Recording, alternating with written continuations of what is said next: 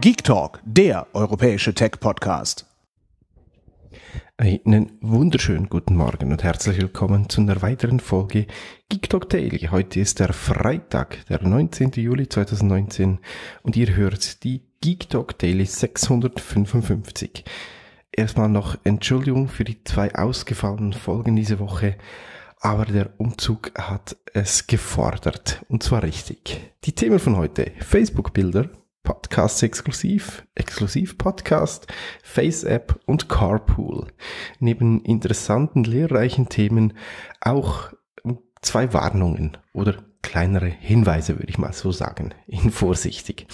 Wer Bilder bei Facebook runterlädt und diese nachher später irgendwo verteilt, sei es auf einer Webseite einbaut, sei es per Mail verschickt oder auch sonst was damit tut, der sollte aufpassen, denn wie der äh, Twitter-Nutzer Edin Yusupovic herausgefunden hat, integriert Facebook in die Bilder, welche auf der Plattform liegen, ein Tracking-Code, so dass sie, auch wenn die Bilder eben weiterverwendet werden außerhalb von Facebook, das Ganze tracken können. Ziemlich unschön, aber passt irgendwie zu Facebook und den ganzen Geschichten, die wir in der letzten Zeit darum hatten.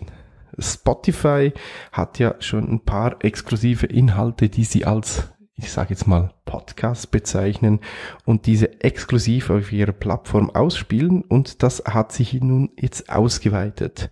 Neben Paardialogie und ähm, kleine Fragen sowie Fox and Sheep und weiteren Art, ähm, Formaten kommen weitere exklusive Titel nur auf Spotify. Der Grund, weshalb sie das tun, ist logisch, denn umso mehr Stunden Stunden, Minuten und Sekunden die Kunden von Spotify nicht im Audiokatalog der ganzen ähm, Musikanbieter wie Warner, Sony etc. verbringen, bringt ihnen natürlich Geld. Sie müssen da keine Abgaben an eben genannten bezahlen. Somit logisch, dass man dann auf den Podcastzug aufspringt und Audioformate, man könnte dem auch Hörbücher sagen in dem Sinn, dann als Podcast verkaufen und das exklusiv anbieten. In die Richtung soll es anscheinend auch bei Apple gehen. Wie die neuesten Gerüchte jetzt besagen, soll auch Apple gehörig in die Richtung investieren und laut Bloomberg sich das eine oder andere Format exklusiv für die eigene Podcast-Plattform aufbereiten lassen. Nicht der Weg, was ich und viele andere Menschen und auch teilweise sicherlich Hörer von uns unter Podcast verstehen, aber ja, ist halt wieder mal ein Hype und äh, ja, die dritte Podcast-Welle aktuell.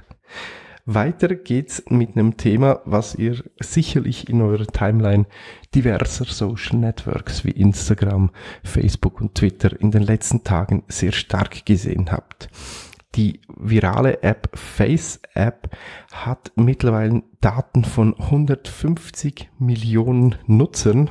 Das sind Daten wie eben die Bilder vom aktuell äh, wie sie aktuell ausschauen und dann wird es runtergerechnet, wie sie früher ausgeschaut haben und hochgerechnet, wie er später ausschaut.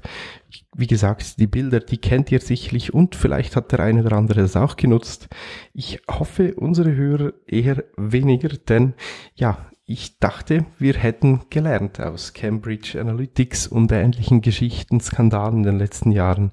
Man sollte nur, weil eine App eben gerade so ein Hype ist, nicht unbedingt gleich immer jeden Quatsch mitmachen, denn da wandern neben Daten von eurem aktuellen Bild, also dem Aussehen und die ganzen anderen Geschichten, die ihr da noch mit angibt, Namen und so weiter, alles in eine große Datenbank, die dann vielleicht auch irgendwie dann halt wieder andersweitig genutzt wird. Wenn man da die, die, die, die, die Terms of Service durchliest, wird es einem ziemlich übel. Gut, das wurde einem damals auch, als Facebook neu auf den Markt kam und es hat selten jemand gestört. Aber eigentlich hätte man, wie gesagt, nach Cambridge Cambridge Analytica im letzten Jahr ein bisschen lernen dürfen. Ein kleiner Tipp, wer die App noch auf dem Smartphone hat, sollte der App, sofern er sie dann nicht mehr braucht, die Berechtigungen entziehen, denn die darf im Hintergrund fleißig Daten von euch sammeln und das sollte nicht unbedingt sein oder zumindest nicht noch im Interesse sein. Zu guter Letzt gibt's noch eine Ankündigung Carpool Karaoke, das Format, was Apple dem James, äh, wie heißt er, irgendwie Cameron, Cameron, äh, Mist, genau, Namen, ähm, nicht abgekauft, sondern übernommen hat. James Corden, genau, jetzt habe ich's. Das Format geht mittlerweile in die dritte Runde. Es wird fleißig gedreht gedreht und da im letzten Jahr das Ganze im Herbst gestartet hat, geht man stark davon aus, dass die dritte Staffel auch in Apple TV im ab Herbst dann verfügbar sein wird, weil wir wissen ja alle, der Streaming-Service von Apple startet und exklusiv Content zählt halt ziemlich stark aktuell auf allen Plattformen in alle Richtungen. Das war's mit den Neuigkeiten. Wenn es irgendwie geht, werde ich euch übers Wochenende vielleicht noch eine Folge rausbringen. Ich kann euch nicht versprechen, aber zumindest eine Folge dürfte irgendwie drin liegen für die, äh, für den Ausfall, den es diese Woche gegeben hat. Wenn nicht, wird ab Montag der Achim wieder für euch da sein. In diesem Sinne, euch einen schönen Start in den Freitag, genießt den Tag, äh, seid erfolgreich und ja, kommt gut ins Wochenende. Euer Poughkeepsie. Tschüss. Hört mehr Geek Talk.